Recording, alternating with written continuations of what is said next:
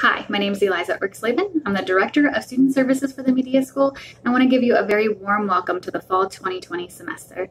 Whether you're taking your classes virtually or joining us on campus, we are so happy that you chose IU. Campus is going to look a little bit different this semester, but please know that faculty and staff are still here to support you. If you ever have any questions or aren't sure where to go for something, please don't hesitate to reach out with me. I would love to connect with you.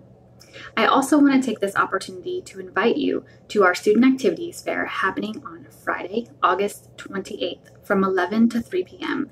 There will be over 28 organizations from the media school and around campus who are excited to talk to you about ways to get involved.